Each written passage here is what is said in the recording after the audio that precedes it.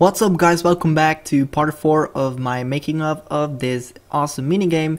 I don't know what I'm gonna call it yet, probably Castle Defense, but I tweeted out a tweet asking you guys um, what names you could think of. And a lot of people said some good names, uh, like Siege, Castle Siege, or Block Defense. I don't know, I'm gonna, I'm gonna pick one of them and it's gonna be awesome. But let's go to the point of this video which is that I made a wave system and it is based on SethBling's Plants vs Zombies, actually Blocks vs Zombies map. And I used his concept and kind of made it into my own own way, so it's still unique to me, but it is, yeah, I got the idea from him. So let's go do to there, which is all the way over here. And uh, yes, I made some more castle stuff, which is not decorated at all yet, but I will still do that. So there's a ton of stuff here. By the way, Okay, so I can explain this from this side all the way over there. So what this is doing is it is looping through all these command blocks and each one of them is teleporting an entity which is a type zombie. So it's going to teleport all zombies within a radius of 12 blocks. So 12 blocks is until about here there. So what I'm doing is every time I'm spawning a zombie I'm spawning it on top of this middle block.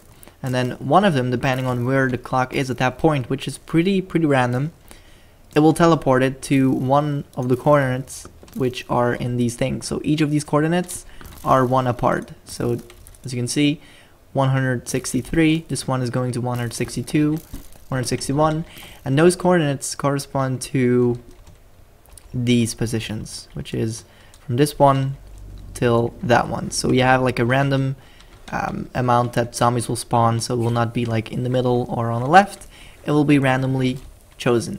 Well, not randomly, but as random as I could get it. I may have a better system for this soon, but I'm gonna keep this now. Um, so this is a clock, which is checking if the game is running. So uh, my command, uh, my variable that I made was game active, and when it's set to 1, the game's running. If it's set to 0, the game is stopped, it is not running. So this will only go through, so the only wave system will only work if the game is running, which is pretty damn obvious, but that's kind of a programmer way of looking at things. So once this is 0, I mean 1, this will get activated and then a signal will go to all three of these directions. First of all, it is setting this block back to the command that it has, which then resets the signal the comparator gives. So if you didn't do this, then a comparator would stay on and you would not have a pulse going through. But when you do this, the comparator will be reset and it will keep sending a signal because the command block get res gets reset by this one and it just goes through and that is a very very awesome thing.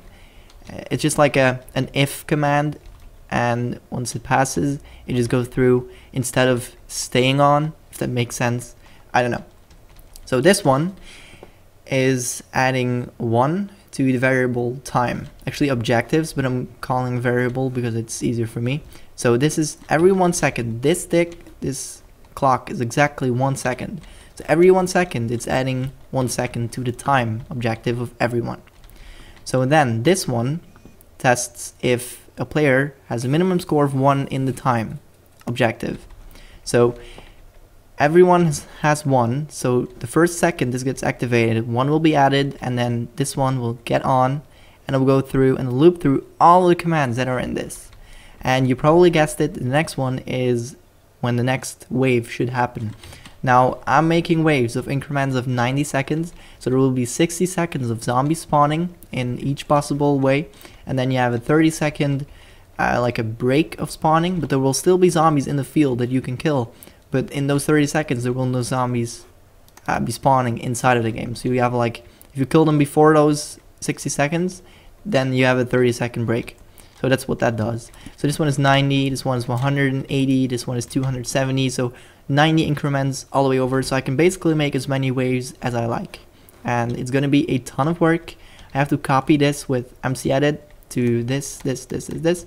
The reason that I separated these by two is that it is easier to get in between them now. And if I didn't, then you would have these long hallways that I would always have to go through and just see what wave I'm on. And it's very, very annoying. So now I can just see like wave one, two, three, four, five. I can go through here and I can set all the commands. So it's basically that. Spent a pretty long time making this. But it worked out in my opinion. So now, how the zombies are gonna spawn, then there are commands that have to run when the wave's running. So the first command is wave 1 incoming, I can show you that soon. Actually, let me show you that right now. So if I do start game, bam. The game's gonna start, and as you can see, wave 1 incoming on the bottom left, and I can show you a few kills. By the way, my coins on the right, they actually go up, as you can see, 101, and I'm gonna kill a few zombies. 100 and come on, two, Yes, two, three, four. Okay.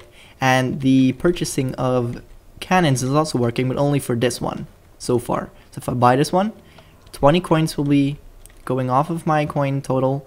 And this is now firing at about 1.5 seconds each arrow. So then these zombies are going to stay here. This is also working in the SethBling's way he did in his Blocks versus Zombies.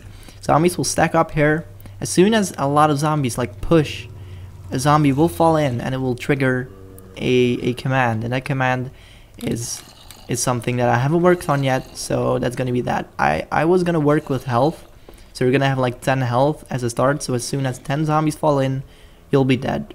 And as you can see, the, the thing on the bottom left now says next wave, it starts in 30 seconds, which means um, 60 seconds have passed, and now it's about here, I think. Let me see. So as you can see, this one is now running. It's going through. It's adding one to the time every second. And this one, when it's 90, it will set to true. So let's just wait for that. It will be soon in like 10 seconds. So I just wanted to show you that. Um, there we go. So now it's going through all of the commands. There's nothing in it yet, but it will go through all. So I don't know if you could see, but the, the black is a wave and the yellow is a wave. I just separated it because it's easier to see and these are just some basic redstone stuff to get the signal up. And yes one row is exactly 10 seconds. That's really cool. And it's really nice for me to program waves. So 10 20 30 40 50 60 and then over here is the command that shows the um, next wave will start in 30 seconds thing. So I'm not spawning any more zombies after those 60 seconds. So that's basically that um, now, how the zombies are to spawn. This command sets a redstone block over here. Now the one below that sets the exact same block back to air again, so you're basically like using this command, so we call it, this is a command, and then that, that block is spawning a block there, a redstone block, which activates all this shit, and then that one will set it to air again, so then the next block could be on there as well. Um, so what these are doing is basically just summoning a zombie, a simple zombie with no equipment yet. I still have to do that, but no equipment yet. And the, this one is just spawning three zombies in groups. So you can have like three groups of zombies. You can spawn different groups everywhere in the wave system, and it's gonna be awesome. So I'm gonna make like 20 different groups of zombies. So like one zombie, one group will have like three zombies, the first one, and then the second group will be like more close together and then like six zombies which which is harder to kill obviously. And then the next one will have like zombies with leather armor. And then the next one will have baby zombies. The next one will have zombies with I don't know with a speed boost. I'm just thinking. So that's all the possibilities and it's really really cool. Um, so I guess that's basically it what I wanted to show you.